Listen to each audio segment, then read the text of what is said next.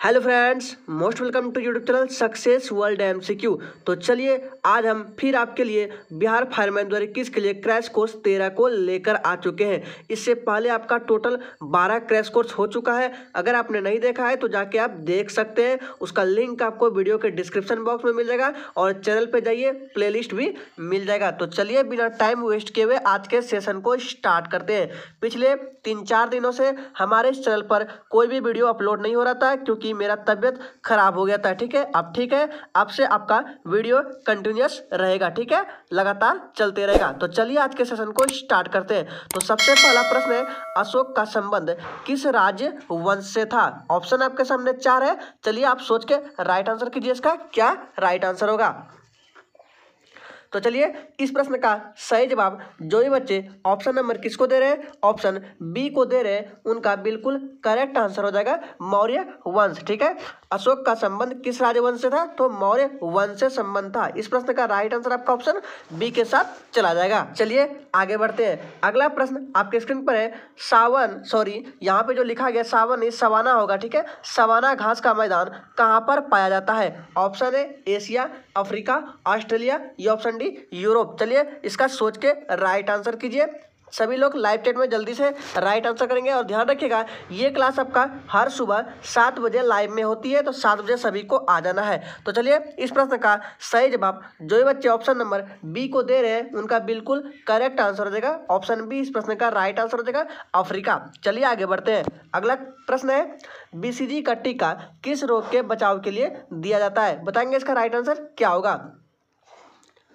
तो इसका सही जवाब जो भी बच्चे लाइव चैट में ऑप्शन नंबर बी को दे रहे हैं, उनका बिल्कुल करेक्ट आंसर हो जाएगा टीबी ठीक है दोस्तों? बीसीजी का टीका टीबी रोग के बचाव के लिए दिया जाता है। चलिए इसी के साथ आगे बढ़ते हैं। अगला प्रश्न आपके स्क्रीन पर है, पंडित रविशंकर किस वाद्य यंत्र से संबंधित थे? ऑप्शन है संतूर, शहनाई वायलिन या ऑप्शन डी सितार। चलिए सोच के राइट आंसर कीजिए। अगर आपको प्रश्न में एक भी डाउट होता है, किसी भी प्रकार का डाउट होता है तो आप कमेंट बॉक्स में पूछ सकते हैं, आपको रिप्लाई तुरंत मिल जाएगा। तो इस प्रश्न का सही जवाब जो भी बच्चे ऑप्शन नंबर डी को दे रहे हैं, उनका बिल्कुल करेक्ट आंसर हो जाएगा सितार, ठीक है? इस प्रश्न का राइट आंसर आपका ऑप्शन चला जाएगा डी के साथ। चलिए आगे बढ़ते हैं। अगला प्रश्न आपके स्क्रीन पर है। भारत के चौथे राष्ट्रपति कौन थे? बताएँगे इसका राइट आंसर क्या होगा?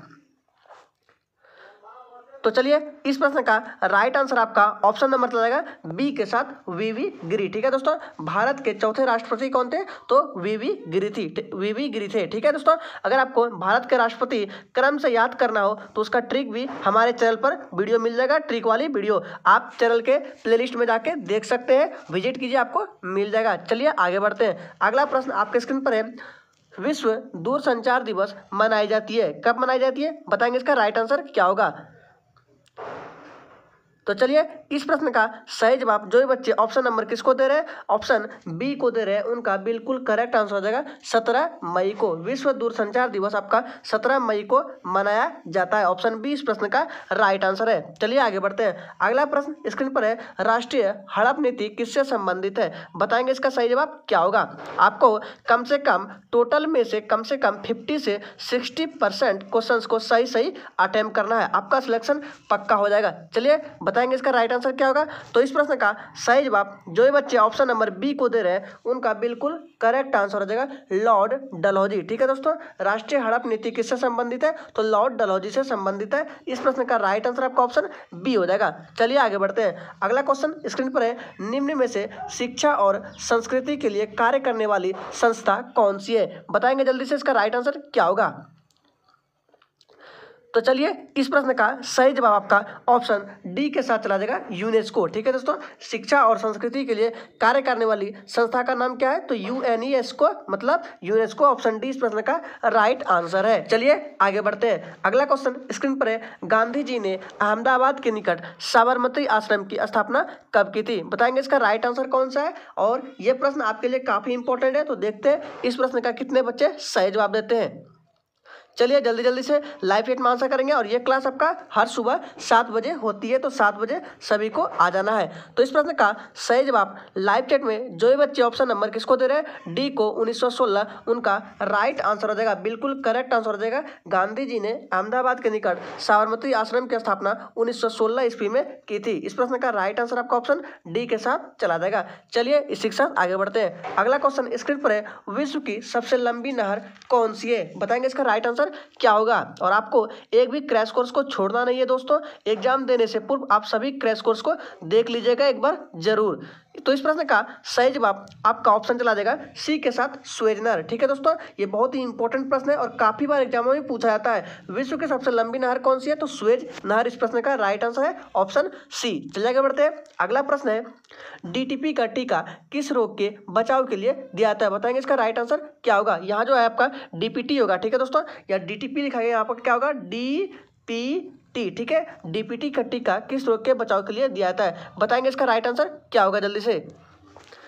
तो चलिए, इस प्रश्न का सही जवाब जो भी बच्चे ऑप्शन नंबर सी को दे रहे हैं, उनका बिल्कुल करेक्ट आंसर हो जाएगा। ये जो आपका डीपीटी है, यहाँ पे डीटीपी नहीं बार बार बोल रहे हैं, यहाँ पे डीपीटी हो जाएगा, ठीक है? प्रिंटिंग मिस्टेक हो गया मिस्टेक हो गया है। तो डीपीटी का जो टीका है, आपका टीटेनस और डिप्थरिया दोनों के बचाव के लिए दिया था। इस प्रश्न का राइट आंसर आपका ऑप्शन सी के साथ चला जाएगा। चलिए आगे बढ़ते हैं। अगला क्वेश्चन है, अशोक का उत्तराधिकारी कौन बना? बताएँगे इसका राइट आंसर क्या होगा? ये सभी के सभी प्रश्न काफ़ी इंपॉर्टेंट है दोस्तों तो आपको सभी क्रैश कोर्स को अटेम्प करना है, ठीक है? आपके एग्ज़ाम में डायरेक्ट प्रश्न पूछ सकते हैं क्रैश कोर्स से, ठीक है? तो इस प्रश्न का सही जवाब जो भी बच्चे ऑप्शन नंबर ए को दे रहे हैं, उनका बिल्कुल करेक्ट आंसर हो जाएगा कुणाल। ठीक है दोस्तों? अशोक का उत्तराधिकारी कौन ना? तो कुणाल इस प्रश्न का राइट आंसर है। चलिए आगे बढ़ते हैं। अगला प्रश्न है, विश्व का प्रथम अंतरिक्ष पर्यटक कौन है? बताएँगे इसका राइट आंसर क्या होगा? तो इस प्रश्न का सही जवाब लाइव चैट में जो भी बच्चे ऑप्शन नंबर सी को दिया, उनका बिल्कुल करेक्ट आंसर है डेनिस टीटो हो जाएगा। ठीक है? इस प्रश्न का राइट आंसर आपका ऑप्शन सी के साथ चला जाएगा। चलिए आगे बढ़ते हैं। अगला प्रश्न है स्टिपल शब्द किस खेल से संबंधित है? बताएँगे इसका राइट आंसर क्या होगा? तो चलिए, इस प्रश्न का सही जवाब आपका ऑप्शन नंबर डी के साथ चला देगा हॉर्स रेसिंग ठीक है दोस्तों, आपका क्या हो जाएगा? स्टिपल शब्द जो है हॉर्स रेसिंग खेल से संबंधित है। इस प्रश्न का राइट आंसर आपका ऑप्शन डी के साथ चला जाएगा। चलिए आगे बढ़ते हैं। अगला क्वेश्चन है, कलिंग युद्ध कब हुआ था? बताएँगे इसका राइट आंसर क्या होगा जल्दी से? तो चलिए तो याद रखिएगा, कलिंग युद्ध आपका दो सौ इकसठ ईस्वी पूर्व हुआ था, ईसा पूर्व हुआ था। इस प्रश्न का राइट आंसर आपका ऑप्शन ए के साथ चला जाएगा, दो सौ इकसठ ईसा पूर्व, इस प्रश्न का राइट आंसर है। चलिए आगे बढ़ते हैं। अगला क्वेश्चन है, संसार का सबसे ऊँचा झील, यानी कि टिटिका का किस पर्वतमाला पर स्थित है? हिमालय एंडीज एटलस या एल्प्स, बताएँगे इसका राइट आंसर क्या होगा जल्दी से?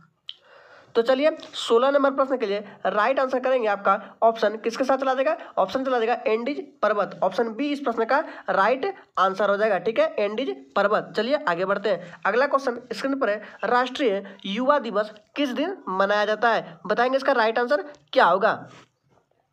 तो चलिए, जो बच्चे लाइव चैट में इस प्रश्न का ऑप्शन नंबर ए को दिया है, उनका बिल्कुल करेक्ट आंसर हो जाएगा बारह जनवरी को। इस प्रश्न का राइट आंसर आपका ऑप्शन ए हो जाएगा। चलिए, आगे बढ़ते हैं। अगला क्वेश्चन स्क्रीन पर है लेब्राडोर किस प्रकार की जलदारा है? बताएँगे जल्दी से। ठंडी, गर्म, शांत या ऑप्शन डी गतिमान। अगर आपने अभी तक सेशन को लाइक नहीं किया है तो सभी लोग एक बार सेशन को लाइक कर देंगे। और जो भी चैनल पर पहली बार है वीडियो को देख रहे हैं, वो चैनल को सब्सक्राइब करके साथ में बेल आइकन को भी प्रेस कर देंगे, ताकि आपसे एक भी क्रैश कोर्स छूटे ना। चलिए तो इस प्रश्न का सही जवाब आपका ऑप्शन ए के साथ चला जाएगा, ठंडी, ठीक है? इस प्रश्न का राइट आंसर आपका ऑप्शन ए हो जाएगा। चलिए, इसी के साथ आगे बढ़ते हैं। अगला क्वेश्चन स्क्रीन पर स्वराज पार्टी की स्थापना कब की गई? बताएँगे इसका राइट आंसर क्या होगा जल्दी से?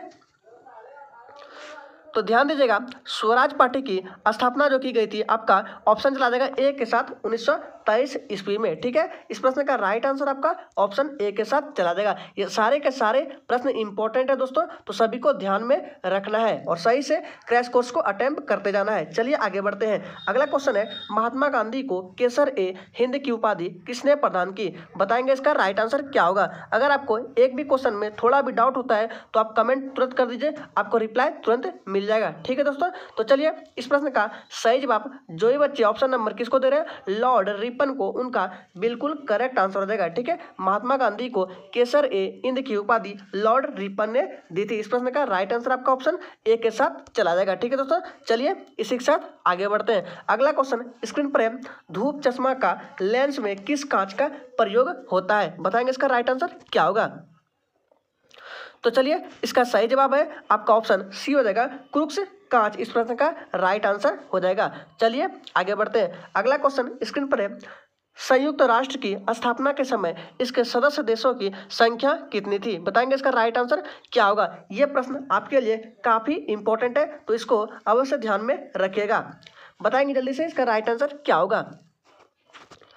तो चलिए बाईस नंबर प्रश्न के लिए राइट आंसर करेंगे आपका ऑप्शन चला जाएगा किसके साथ? ऑप्शन बी के साथ चला जाएगा इक्यावन देश थे ठीक है दोस्तों? क्या है?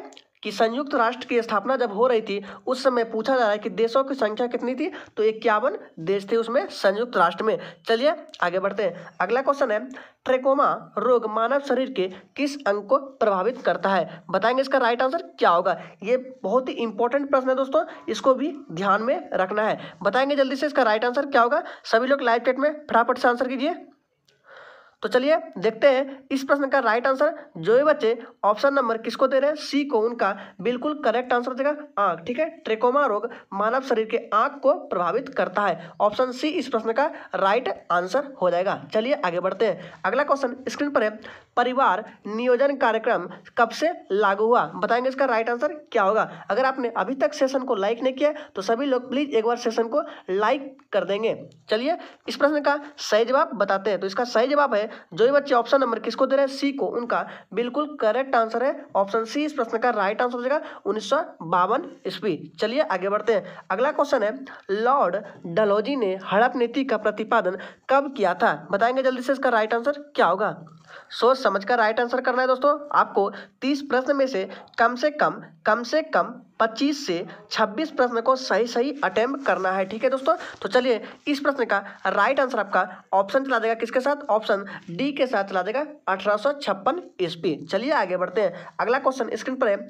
एलिस इन वंडरलैंड किसकी रचना है? बताएँगे इसका राइट आंसर क्या होगा? तो चलिए, इस प्रश्न का सही जवाब है, आपका ऑप्शन चला जाएगा लेविस कारोल के साथ करेक्ट आंसर ठीक है? लेविस कारोल इस प्रश्न का राइट आंसर हो जाएगा। चलिए, आगे बढ़ते हैं। अगला क्वेश्चन है विबल्टन ट्रॉफी का संबंध किस खेल से है? बताएँगे इसका राइट आंसर क्या होगा? तो चलिए, बताते हैं इसका राइट आंसर जो है, आपका ऑप्शन ए हो जाएगा टेनिस से संबंधित है, ठीक है? विबल्टन ट्रॉफी आपका टेनिस खेल से संबंधित है। इस प्रश्न का राइट आंसर आपका ऑप्शन ए के साथ चला जाएगा। चलिए आगे बढ़ते हैं। अगला क्वेश्चन स्क्रीन पर है, अमेरिका में चाय पार्टी के नायक कौन थे? बताएँगे जल्दी से, इसका राइट आंसर क्या होगा? अगर आपने अभी तक सेशन को लाइक नहीं किया तो सभी लोग एक बार सेशन को लाइक कर देंगे। और जिसने भी चैनल को सब्सक्राइब नहीं किया, वो चैनल को भी सब्सक्राइब कर लेंगे। तो चलिए, इसका राइट आंसर आपका ऑप्शन चला जाएगा किसके साथ? डी के साथ करेक्ट आंसर जाएगा सैम्यूल एडम्स। इस प्रश्न का राइट आंसर हो जाएगा। चलिए आगे बढ़ते हैं। अगला क्वेश्चन है, छोटी माता की रोग के लिए किसका टीका लगाया जाता है? बताएँगे जल्दी से इसका राइट आंसर क्या होगा। तो चलिए, इसका सही जवाब जो है ऑप्शन डी हो जाएगा। रूबेला वैक्सीन इस प्रश्न का राइट आंसर हो जाएगा ऑप्शन डी चलिए आगे बढ़ते हैं। अगला प्रश्न है फिलंट कांच का प्रयोग किसमें किया जाता है? बताएँगे जल्दी से इसका राइट आंसर क्या होगा।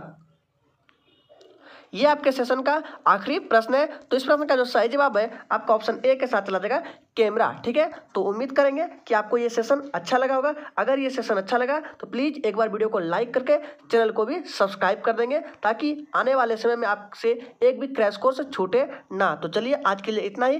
कल फिर मिलते हैं नेक्स्ट क्रैश कोर्स के साथ।